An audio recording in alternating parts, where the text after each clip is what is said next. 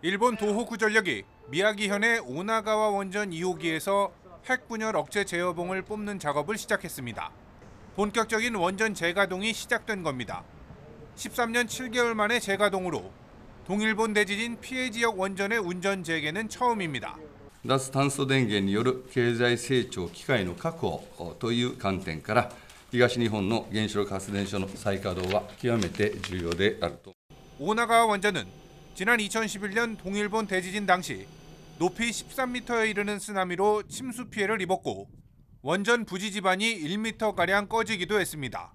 폭발 사고는 없었지만 안전성 문제로 그동안 가동을 중지해 왔습니다.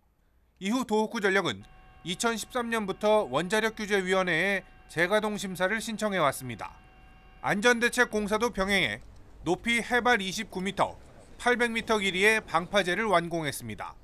원자로 건물은 내진 보강 공사를 했고 예기치 못한 사고에 대비해 원자로를 일주일 동안 식힐 수 있는 만톤 분량의 냉각수도 준비했습니다. 결국 지난 2020년 원자력 규제위의 재가동 심사를 통과했습니다.